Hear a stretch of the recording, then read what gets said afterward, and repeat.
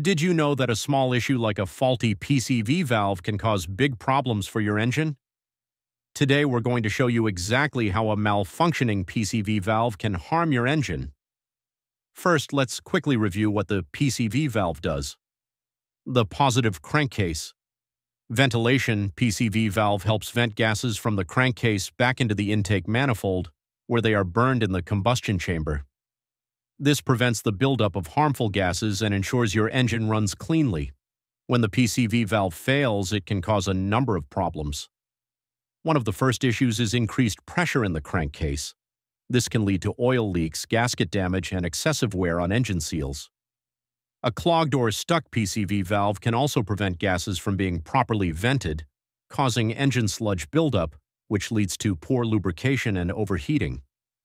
So, how do you know if your PCV valve is faulty? Here are some common symptoms. Rough idling, increased oil consumption, engine knocking, and check engine lights. If you notice any of these signs, it's time to check the PCV valve. Keeping your PCV valve in good condition is key to maintaining engine health.